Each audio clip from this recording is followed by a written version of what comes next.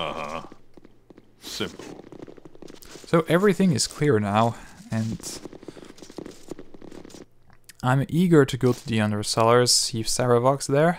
If you wish. If not, the assassins he he hired should still be there.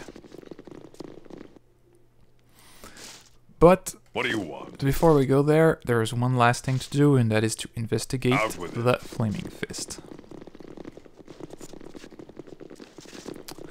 Although we could ignore that part, I believe, but uh, we'll gather be missing on before quite a good part of the story, so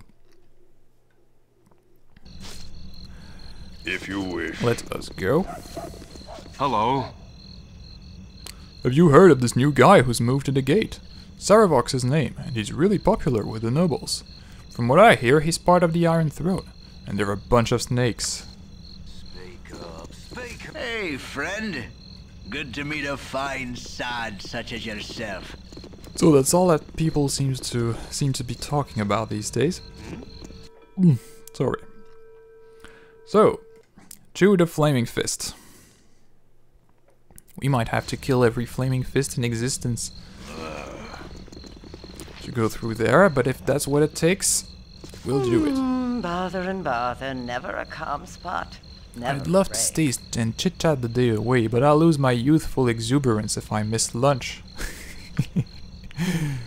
uh, yes, all the fat people in Baldur's Gate always say something about food. Mm, bother and bother, never a calm I may be a touch overweight, Never but you're a little more than a pointed stick.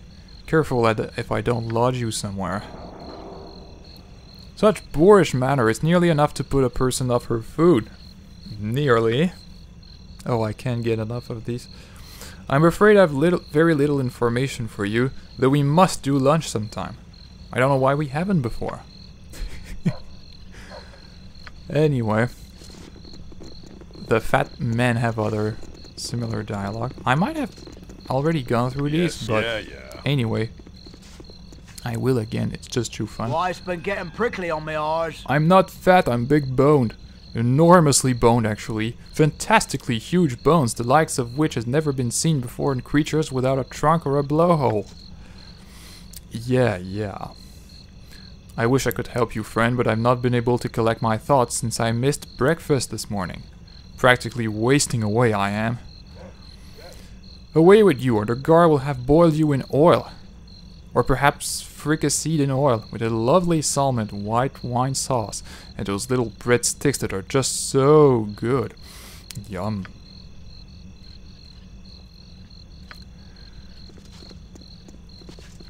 What? Hmm. Let's talk a little more with Can the I ladies. assist you? I think Sarevok could make the best repla- the best replacement to Entar as Grand Duke. He seems like he's he's got locks locked up in that noodle of his. yes, indeed, he seems quite smart. Can I assist you? Salutations. I don't know which was worse, the supposed threat of bandits and iron shortages, or the real threat of war with Amn. Salutations.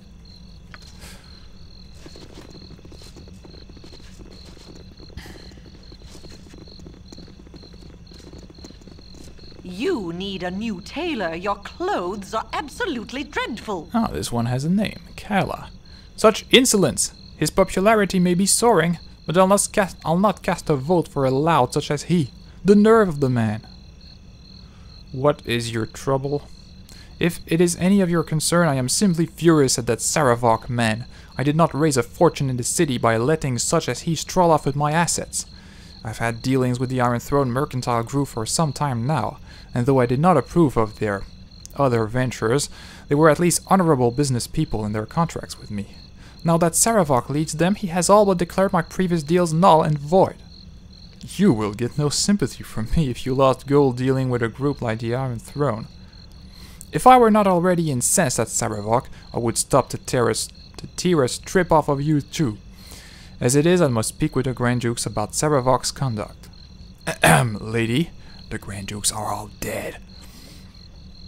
Imagine, he secures himself as leader of the Iron Throne, and then all but destroys its mercantile credibility by practically sacking it. He may be bolstering the city with his assets, But it is still unprofessional. Something strange is going on at Iron Throne building, I tell you. I know their previous leadership was killed, but those members remaining would still never let such treatment come to pass. Not willingly, anyway. Well, I wish you luck talking with the dukes, seeing as they are all in their graves now. Well, one is sick. I guess that's always that. Oh no, Flaming Fist. I serve the flaming fist. Halt and hold! You stand accused of murder most foul. You will lay down your arms and come with us, or by order of Angelo Dosan you will be killed where you stand. Such is his order, and I cannot alter it. It is your choice. I am innocent and I shall not submit myself to the judgment of this Angelo. Scar is your proper superior.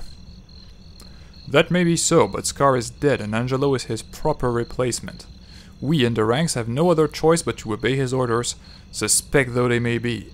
You must decide, submit and face judgment or fight here and die. I have no choice, but you do. If we fought here, the Flaming Fist would lose, but um, we would also drop to Reputation 1.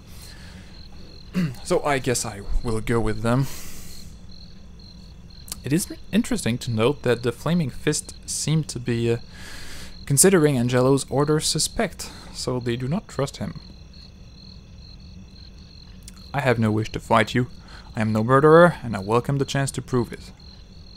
A wise decision. You will have a fair chance to defend yourself, regardless of how convinced of your guilt Angelo is. This way.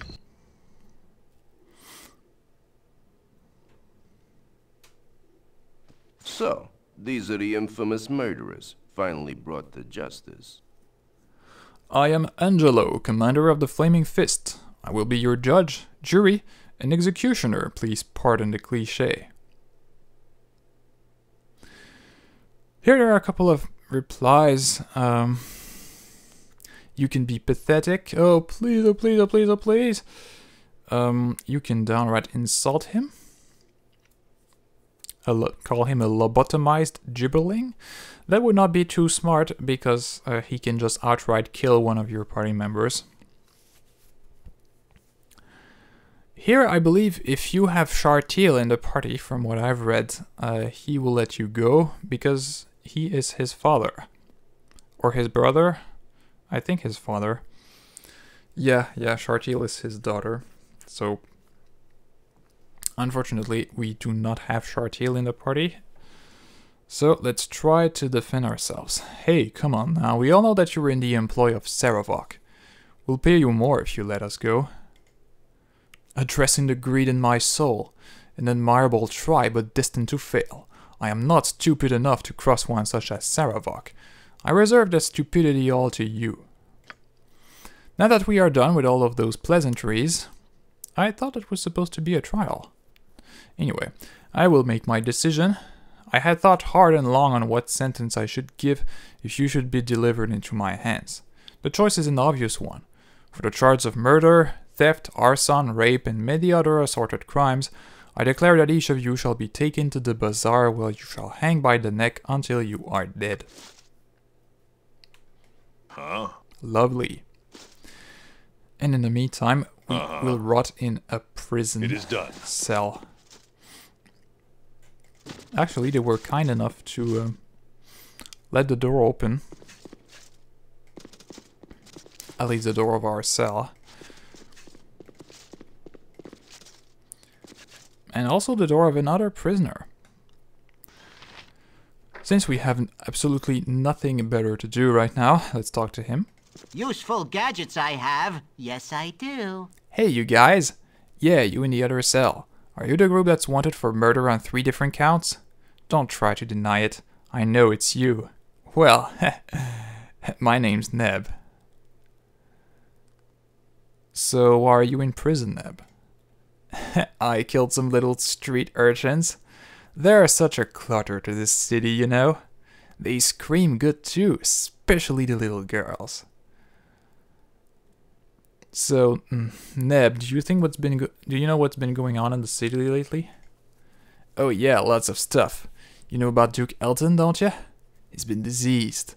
That's why Angelo's in charge now. It would have been Scar, but he went out and got assassinated. yeah, the city's gone downhill over the last week. Too bad. Oh, that guy, that guy's a proper monster. Were I a paladin, I paladin, I would either uh, kill him or refuse to do any more business I with have. him. Yes, I do. But I don't really care, and I'll keep pestering him until he reveals any more infor important information.